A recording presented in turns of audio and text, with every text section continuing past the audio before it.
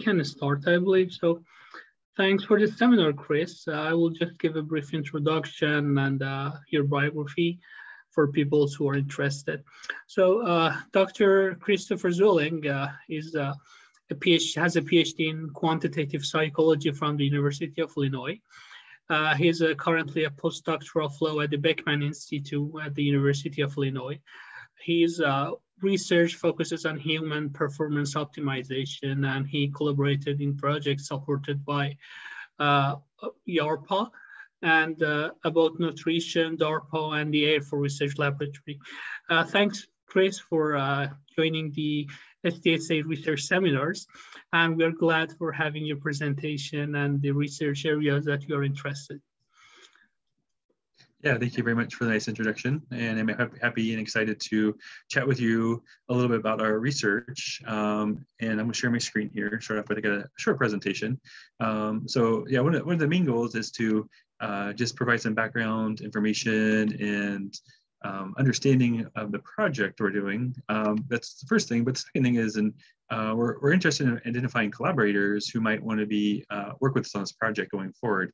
And so at the end of this presentation, I'll provide you know my contact information if, if this project sounds of interest to you uh, to see if you would be uh, interested in joining us as we do this uh, work in the future.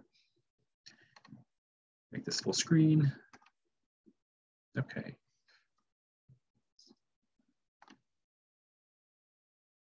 Okay, so the program that we're currently in is something called Measuring Biological Aptitude. Uh, this is sponsored by DARPA. And the overall objective of this program is to use cognitive, behavioral, um, sensor data, molecular data, genetic data, a broad swath of data which can be collected from individuals and use, identify a subset of those variables, many, you know, thousands or hundreds of thousands of variables in total, identify the subset of variables that seem to be most predictive of an outcome measure that is um, of interest to, in this case, the military.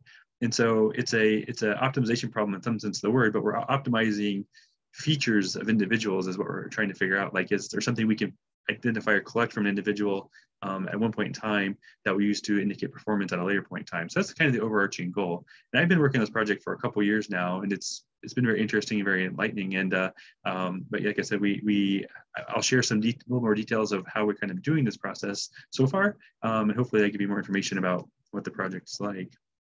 Before getting to the specifics, though, I just want to um, take a moment to introduce our team. We have several individuals who have um, different backgrounds in terms of interest and expertise. And so we're led by Aron Barbey. He's a professor of psychology. Um, also, he's in uh, bioengineering and neuroscience. And he is also works closely with Steve Culpepper, as most of you probably know from statistics department. so Steve is our uh, statistics guru on this project. He's the expert in that area. Um, there's myself, as uh, Meredith already introduced me. Um, I have expertise in statistics and psychology and neuroscience as well. Um, and I, I, play a leading role in this project to kind of coordinate uh, analyses and organize um, you know, results and present and help present those during the PI meetings. And then we have several um, graduate students working with us. There's Ramsey Wilcox. He's a psychology graduate student, and he has a strong uh, background in, in data analysis and psychology and neuroscience. And Evan Anderson is an advanced graduate student. He's nearly completing his time um, with us as a graduate student, and he has very good computational neuroscience skills, very good um, programming skills, and very good data analytics skills and he's been very instrumental in helping us develop this um, the backbone of this software that we're that I'll share more about here in a minute.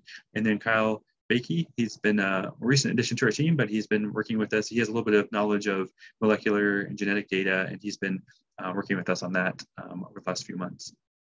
And so we have a couple other individuals who play more uh, peripheral, but um, like I said, we're, we're looking to um, identify additional collaborators who would be willing to join and complement um, our research interest here. So the framework, the um, what do you call it? The uh, analytical framework, there we go, that we use in this um, program is something called inference. And that stands for intelligent forecasting through explanatory reasoning and contextual learning. We actually developed this framework in a separate DARPA program, DARPA TAILOR, And we developed that in consultation with our colleagues at Georgia Tech. Uh, most of the people from Beckman were the same individuals, but uh, we had some additional collaborators. And this was a, a, a, prior, prior developed software framework, analytical framework that we developed, and we've adapted in different ways to this measure, measuring biological aptitude uh, program um, that we're talking about now. And so just briefly take a moment to describe what inference does and how it works at a high level. Um, so it's a novel artificial intelligence framework for the design of personalized training, readiness, and recovery programs that are tailored to an individual's cognitive biological phenotype. And so this gets us the idea that you know, we're looking at features across individuals, like, you know, like cognitive and behavioral and molecular features, but at the same time, we're trying to identify like within individuals, which of those features really matter. So it's both like individual variables, individual features, but also um, for a particular candidate, particular individual, what matters. And that's, we're talking about personalized elements. Um, uh, and then that, and the phenotype is those different features that we refer to. So inference framework consists of uh, a couple parts. So at the highest level, we um, are working with trying to identify and characterize residuals um, at multiple levels of resolution. And so we do that with what we call um, two, these reasoners, these reasoning systems. And so right as of right now, we have two separate reasoners. Um, one is called case-based reasoning, um, and I'll explain more about that particular reasoner in a moment. But the basic idea is that it builds a phenotypic library from previous cases that seen before and uses those to make predictions of individual, individual outcomes at the level of the subject.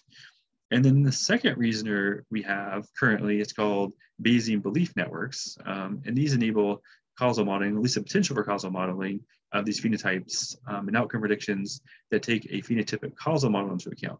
So here we're trying to maybe more understand the structure of the um, variables and how they relate to one another and to get at individual um, predictions from those models. And then what we do with those two reasoners is put those outputs, those predictions from each of those reasoners into a so-called meta-learning system, which combines these predictions to generate robust inferences and account for individual differences across multiple data sets, phenotypes, and operational contexts. And so it's one of the things about this inference framework that we um, uh, like to emphasize is, is robustness. We developed it on one um, program and we're applying it to the different program.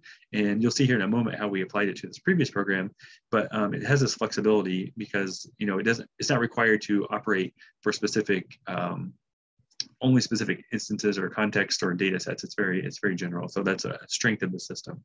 And the other thing I'll say is, you know, as of right now, we have these two reasoners, but one thing we are currently working on the program is to try to roll in or build additional reasoners to complement this. Um, and I'll, so that's something that we're also interested in doing in terms of enhancing the, the robustness of this system. And so yeah, overall, um, this is how this system works. So, so just to give a sense for how this um, inference protocol worked or performed in a previous program, this is the DARPA TAILOR program, um, we had five competing, comp competitive teams, performer teams, we call them, and we were tasked to do is uh, make these counterfactual predictions. So counterfactual prediction is something where um, you're asked to predict what would happen if circumstances had been different. So like if um, you're asked to predict how well a person would do, um, say if they were on a team with uh, people who are taller versus people who are shorter. Like you can actually maybe run that experiment, but you can use data and information from um, other contexts in the experiment to maybe assess how a person might perform if they've been different contexts. So you're not actually running the experiment, you're just counterfactually thinking about that experiment. And so we made these predictions across different domains of physical fitness endurance, cognition, the molecular there, the changes in microRNA expression, even some data from NASA. We had some uh, data access to some data sets from NASA. And so we had both like a training set where we developed models and then we made blind predictions on the test set. And our inference protocol um, across these 18 predictions across the five performer teams, as this table shows, scored best on 11 out of 18 of those predictions. So the table there shows the teams uh, on the left in that leftmost column, and then the columns are the how each of the data are the data sets. And um, inference did really well across this kind of large and diverse data set and across these different contexts.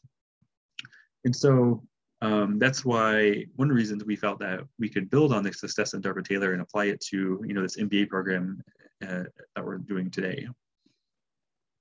So now here's a, a screenshot, kind of a high level just visualization of how um, each of the reasoners works, as well as the meta reasoner. And so I'll go into some detail, but not like very specific details, you know, in terms of the specific probability models or that kind of thing that's being implemented here. Because um, I said I, I primarily want to introduce the project and just give you a sense for what we're doing here. So the way case-based reasoning works is that it creates a, a case library, which we have this purple here. It, the case library is basically all the existing data, the training data, if you will, and the features and individuals for those.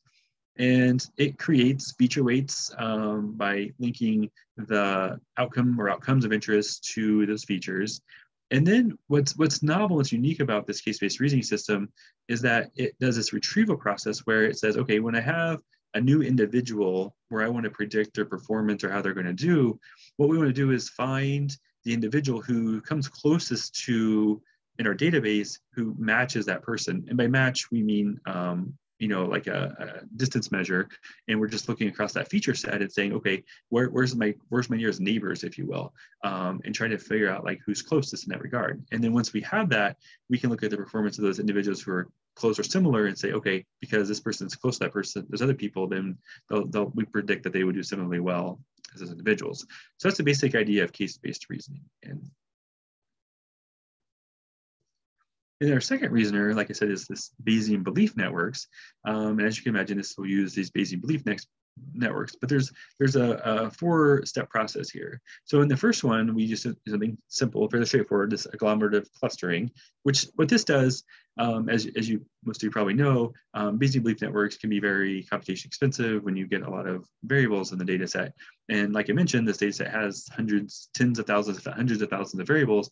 And obviously we can't put all of those into, you know, these Bayesian belief networks are just optimized that way. So we're trying to, to funnel down the variables of interest that might matter in a causal model. And so these first couple steps get at that process of winnowing down the number of variables that um, we could include in the model. Um, by contrast, case-based reasoning, the other model we showed, doesn't depend on that step. It can take a huge number of variables out of the box and work with them. So um, just to give you a sense that these reasoners don't have to be like compatible or, or similar in that way. They, they can really do different things, um, but they, they can work together as I'll show you in the next slide. Um, so, so this Bayesian belief networks is trying to winnow down the set of variables that matter.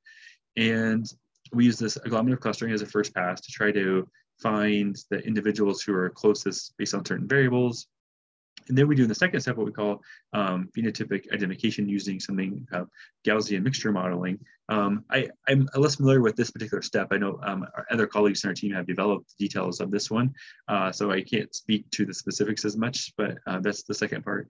And then the third step is, you know, we have this reduced data set, then we feed them into these more, um, these Bayesian belief networks.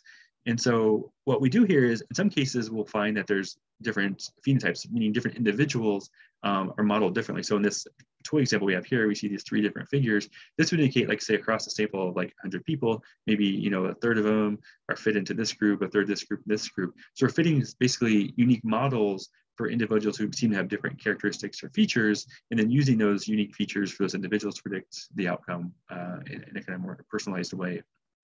And then finally, there's this likelihood weighting step, which we use to uh, identify the confidence we have in our outcome or result. Okay, so those are kind of just a little bit of insight into how the reasoners work. And then the we put what, what happens is we use this ensemble meta reasoning piece, and there's two requirements to make this work. You need a reasoner's predictions, and we were just for purposes of um, this project, you know, they're binary predictions. Does it like in the previous program, the DARPA TAILOR program, it could be continuous variables or binary. Um, well, sorry, and I guess we, we adapted it to take binary data uh, for this program, but um, that's a strength, another strength of this inference framework. And so we have each reasoner, so we need the prediction, the binary prediction in this case, as well as um, what we call a confidence interval, confidence metric. And that's something we've been refining. We're moving towards having that be a probability, um, meaning a measure of probabilities strictly defined where you know if it's a zero we're, we're not very confident that that prediction is good. And if it's a one we say yeah we're very confident it's a good prediction. Um, but in our earlier incarnations of this that confidence metric wasn't strictly tied to probability but we're, we're moving that way. And we're trying to make that um, ratchet that down to be more a probability of a, a probability measure. And so those are the two pieces of information this meta reasoner needs is the, the prediction and the confidence. And then from that, we get this overall prediction, which it says, okay, we're going to weight um, the predictions from each of the reasoners and then put that together and then get an overall prediction.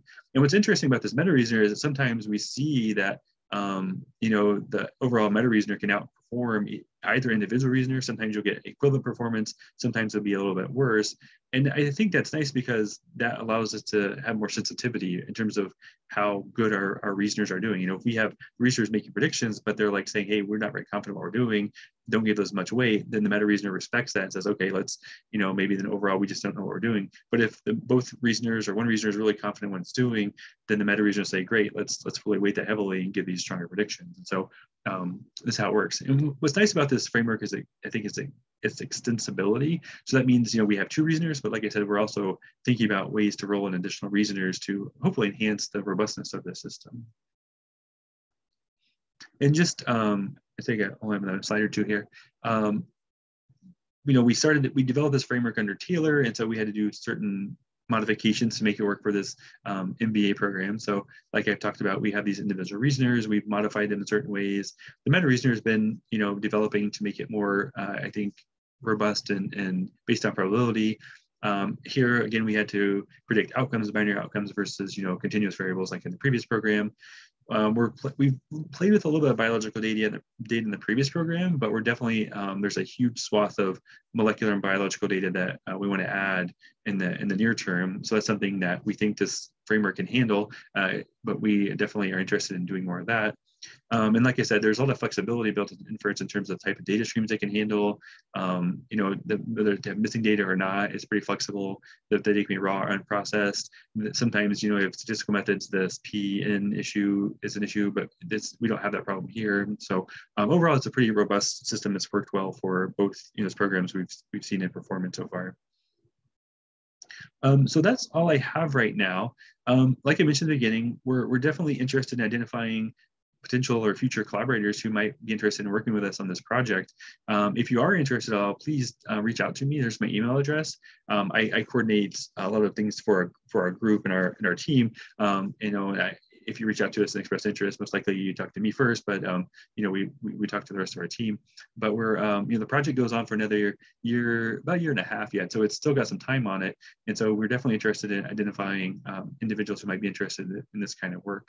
Um, I, I, can field some questions. Um, said this this project has what's called uh, classified, sorry, controlled unclassified information. So I am restricted in what I can say, but um, if you have questions for me, like right now or, or in the future, I, I will answer them the best I can. But I also have to say, like, I can't go into those details with, without um, having full access to the to the project because of its nature. So, so thank you. That's all I have. I'll stop sharing my screen, or I'll stop talking at this point at least, and see if there are any questions. Thank you.